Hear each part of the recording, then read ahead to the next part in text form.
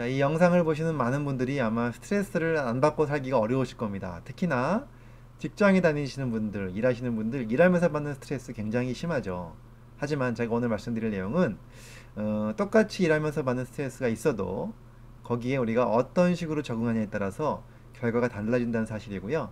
그 적응을 잘하면 오히려 그것이 나의 성과, 나의 성장에 도움이 된다는 사실을 어, 말씀드리려고 합니다. 그 적응의 비밀 궁금하시다면 영상 끝까지 봐주시기 바랍니다.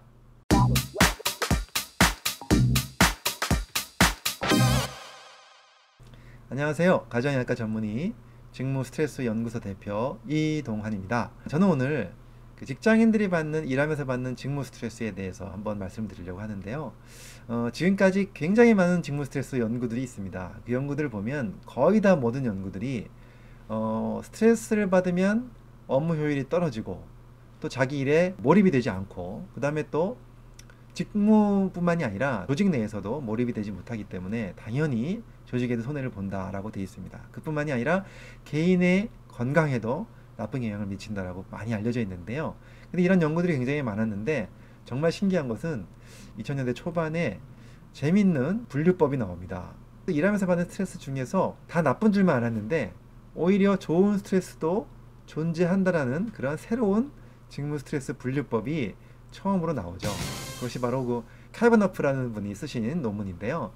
2000년대 초반에 나온 논문인데 그 논문을 보면 어, 되게 재미있게 분류를 했습니다. 일하면서 받는 스트레스들이 다 우리한테 다 나쁠 것 같지만 그 중에서 도전 요인으로 받아들여지는 것이 있고요. 하나는 또 방해 요인으로 받아들이는 것이 있다는 겁니다. 도전 요인은 이겁니다. 시간은 적은데 내가 맡은 일은 많다.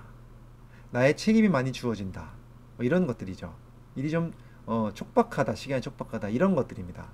그런데 물론 이것은 굉장히 나쁜 스트레스로 지금까지 받아들여졌지만 조금 달리 생각을 해보면 이것을 내가 잘 극복을 해냈을 때 나의 업무 성과가 증가가 되고 또 인정도 많이 받고 나에도 성장할 수 있는 그런 계기가 될 수 있는 요인이 될 수 있다는 거죠. 그래서 도전 요인이라고 이름을 붙였습니다.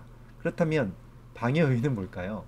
이것은 어떻게 생각을 해도 나한테 도움이 되지 않는 예를 들면 이런 겁니다.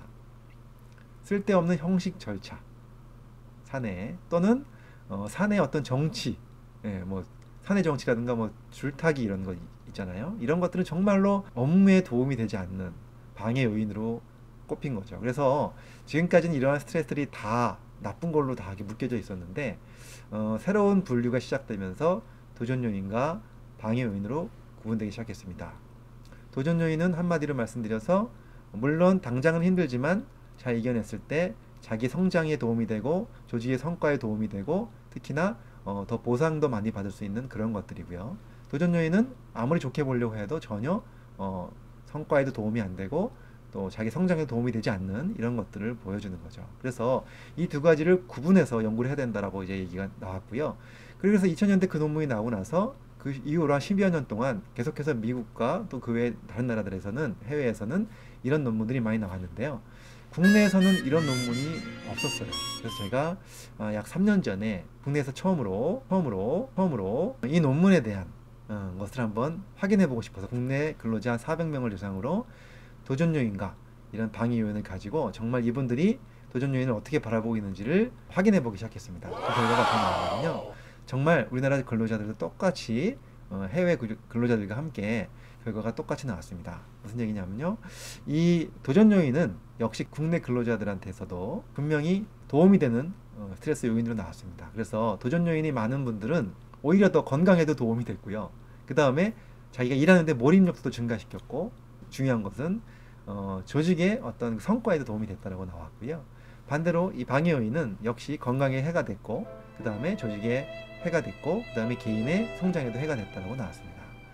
참 신기하죠. 우리는 지금까지 모든 일하면서 받는 스트레스들이 우리를 괴롭히고 피곤하게 만드는 것으로 받아들여져서 어, 고민하고 있었지만 어, 사실 보면 이 중에 일부 도전 요인들은 우리가 조금만 컨셉을 바꾸고 그 다음에 또 조금만 더 공정하게 조직에서 이런 것들을 잘 이렇게 성과에 대한 보상을 해줄 수만 있다는 믿음이 있다면 발전시켜주는 요인으로 된다는 것이 증명이 됐다는 것이죠.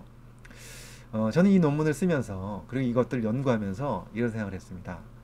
우리의 인간은 예, 역시 어, 그러한 스트레스 상황을 어떻게 받아들이냐에 따라서 달라진다는 사실입니다. 특히나 이 도전 요인도 그 사람의 긍정 정서에 따라서 많이 차이가 나는데요.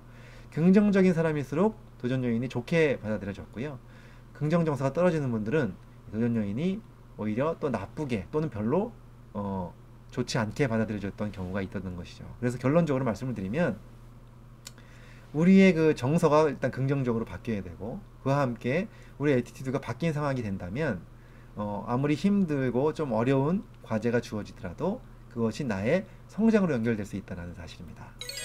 이것은 꼭 어, 어떤 직무에서뿐만이 아니라 개인이 타락하면서 나의 긍정적인 그 정서가 결론적으로 어려운 상황을 오히려 나의 어, 성장으로 이끌어 나갈 수 있다는 것이 어, 굉장히 중요한 결론이라고 볼 수가 있습니다. 자, 이 영상 보시는 모든 분들 이제부터 좀 우리가 긍정적인 마음을 가지고 살아간다면 어, 조금 비록 평상시에 스트레스를 받아, 받아들였던 그런 많은 요인들이 앞으로는 조금 더 나의 성장의 도구로 쓰여질 수 않을까 하는 생각을 하면서 영상을 마칠까 합니다. 자, 앞으로는요, 제가 직장에 다니는 많은 분들 긍정적인 정서를 가질 수 있는지 또 어떻게 하면 좀더 어, 좋은 그러한 그 상황을 만들 수 있는지에 대해서 좀 이야기해 갈 건데요. 계속해서 구독해 주시면서 그런 이야기 함께 어, 이루어 나갔으면 좋겠습니다. 감사합니다. 이 강의가 도움이 되셨다면 좋아요, 구독, 알림 신청 해주시면 감사하겠습니다.